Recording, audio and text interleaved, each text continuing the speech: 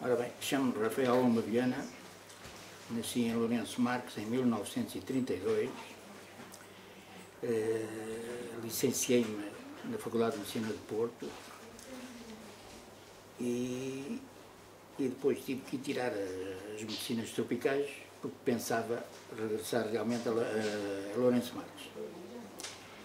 As medicinas tropicais, eh, pois, logicamente, foram feitas e proporcionaram que um lugar em Moçambique, no Instituto de Investigação Médica de Moçambique, à custa, enfim, dos estudos das classificações que tinha obtido na, na, na Escola Médica das Tropicais, e por conseguinte fui contratado como segundo assistente do, do Instituto de Investigação Médica, onde fui parar a uma enfermaria que pertencia ao Instituto, mas que se incluía no Hospital Miguel Bombarda. Essa enfermaria era fundamentalmente uma enfermaria de negros, de doentes negros, e acontece que a patologia, do modo geral, a patologia do, do negro africano, eh, para além da tuberculose que já aqui falaram, tem muito de patologia hepática e, direi melhor, de patologia esplêncnica. Fígado, baço, eh, pâncreas, etc. E até tumores retroperitoneais que, se estiverem a assistir à exposição que vai ser feita em Lisboa, vão ter a oportunidade de ver uns bons slides.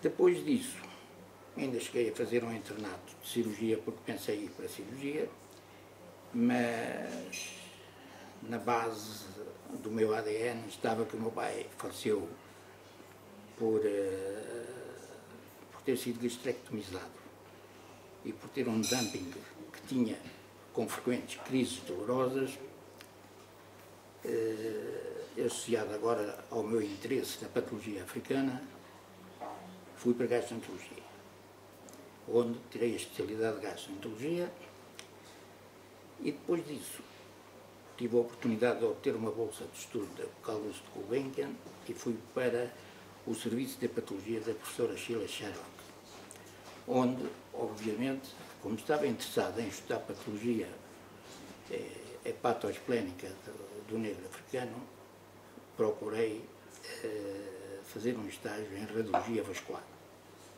Quando regressei a Moçambique, levando uns catetas comigo e, aquilo que tinha aprendido em Inglaterra, comecei a fazer arteriografias.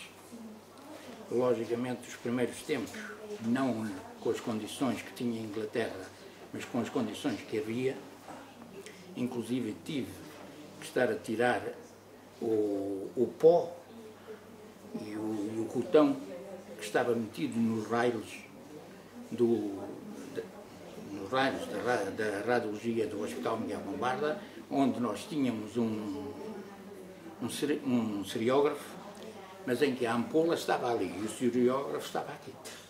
E a ampola não vinha cá porque, porque os carris estavam cheios de, de sujidade e de cotão. Ora bem, inicialmente olhei para aquilo e disse, bom, eu tenho que tirar isto primeiro e depois puxar a, a ampola de raio-x para aqui. E realmente assim fiz, com a ajuda de alguns uh, funcionários do raio-x, que realmente me ajudaram bastante. E nessa altura comecei a fazer umas, uh, uns estudos vasculares que inicialmente, como em tudo quando a gente começa, saem sempre mal. Por fim, recordo-me que foi um dia praticamente à tarde, em que a primeira arteriografia seletiva hepática que fiz, eu saiu bem. E saiu bem, e nessa noite, porque depois saí, eh, fui ter com alguns colegas, como o Cabeçadas e o, o Pinto Teixeira, etc., que eu disse, olha, eu tenho aqui uma coisa para vos mostrar. E mostrei a primeira seriografia, ou o primeiro cateterismo seletivo da, da artéria hepática, ou do tronco celíaco, e que eles só disseram, tu és teimoso, Eu disse, estou. E aí de fazer mais. A partir daqui, desta arteriografia seletiva, passei a, a realizar também esplenoportografias, a meter o cateter pelas veias subclávias, ou pela, pela, pela, veia cava e depois às veias subclávias. Enfim, uh, subepografias, sim, das subhepáticas. E os subclávios não, subhepáticas. Depois, o, o aspecto arteriográfico parece que chamou a atenção de alguns colegas que trabalhavam lá em, no Hospital Miguel Bombarda e cheguei a fazer arteriografias do rim, arteriografias dos membros inferiores, eh, mas eu focava-me particularmente nas arteriografias da área esplênclica. Aconteceu que quando fazia arteriografias seletivas, um dia apareceu aquilo que nós, cá na Europa, chamamos feiticeiro e que os negros chamam de Nhanga. Esse Nhanga era um homem muito conhecido, não só da população negra, como da população europeia eh, portuguesa. Porque eh, quando havia dúvidas de tratamento, iam ter com esse feiticeiro. E eu tive um colega de liceu que morreu com, com um sarcoma do ósseo, em que os pais, em determinada altura, teriam perdido já um pouco a, a esperança e levaram o rapazito. Rapazito que tinha 16 ou 17, ou 17 anos, mais ou menos. Tinha sido jogador de hóquei e depois teve uns traumatismos e saiu-lhe um sarcoma. E esse nhanga foi parar à minha enfermaria. geralmente os fígados e baços no, no negro africano que nós temos lá eram enormes.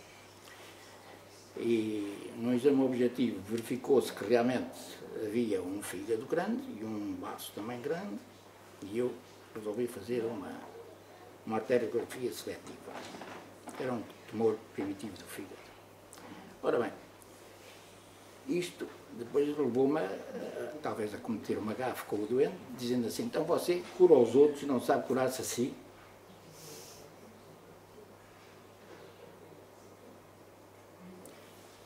Bom, a primeira, eh, quando é que... Depois tomava uns medicamentos que não tomava. Porque o, o enfermeiro era de uma tribo diferente dele e o indivíduo não tomava.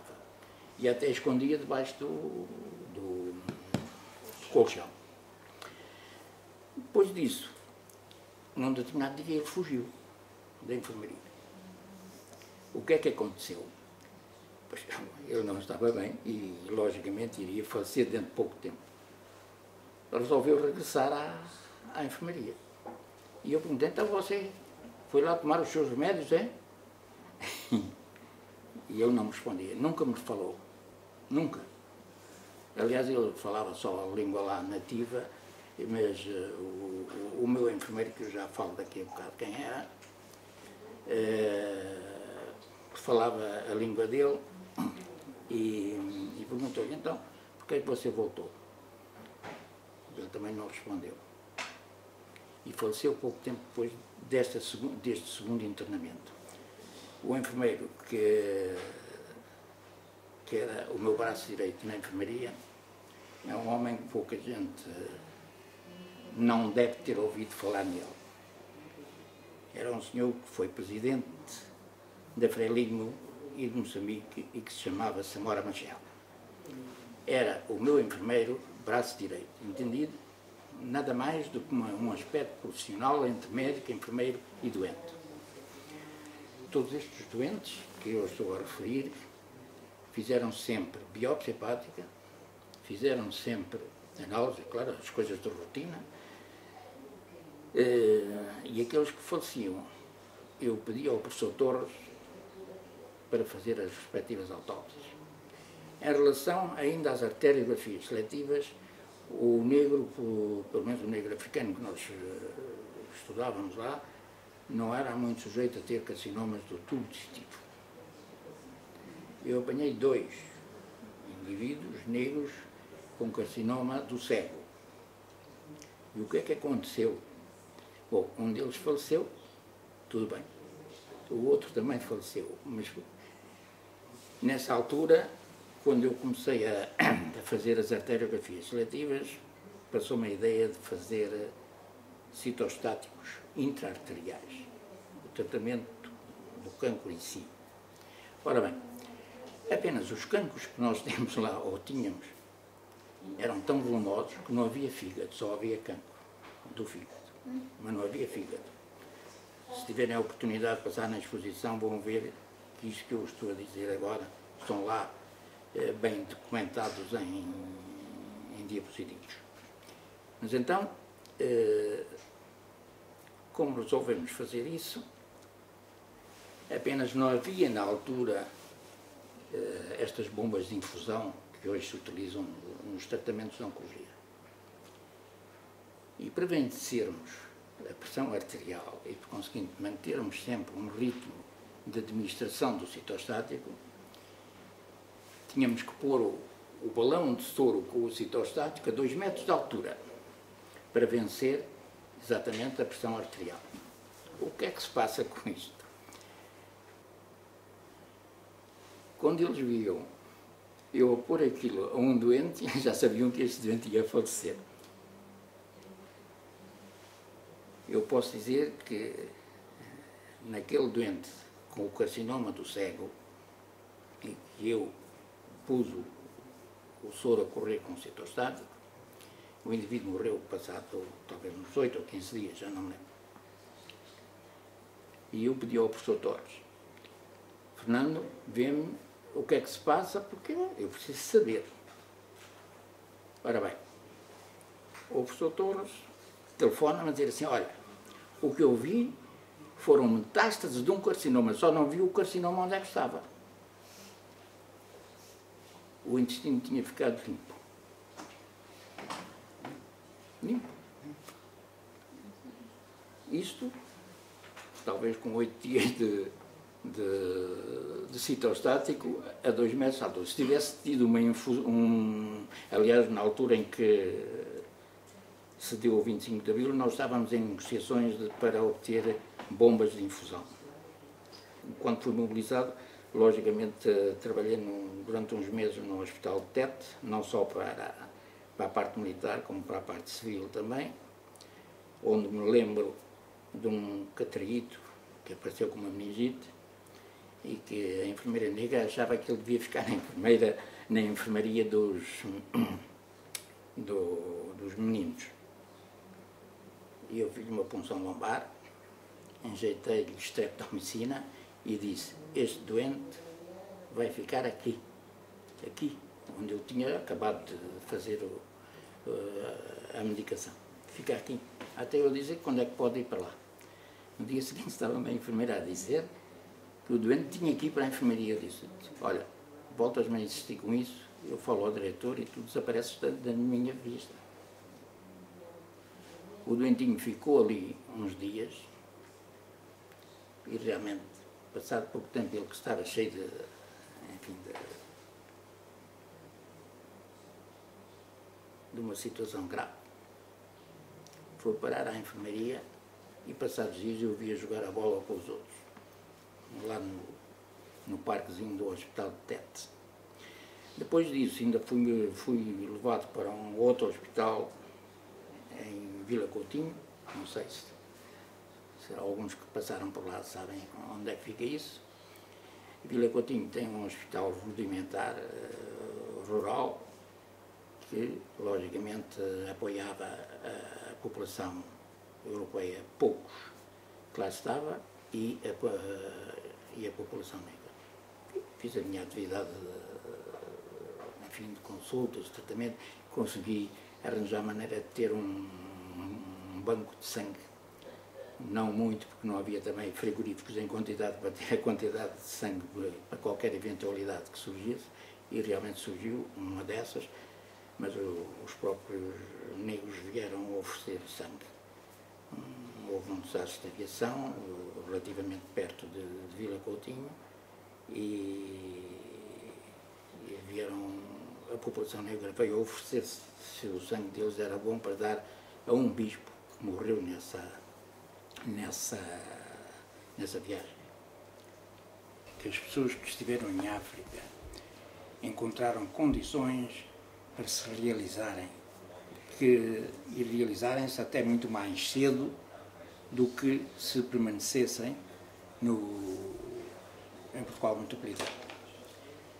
Por outro lado, eu vou utilizar agora um termo de um poeta moçambicano, Lourenço Marques é uma cidade de feitiço. E é porque quem quiser trabalhar tem, pode não ter condições materiais para realizar aquilo que acha que deve fazer, mas tem condições humanas para poder realizar aquilo que sonharam. Foi isso que me aconteceu a mim.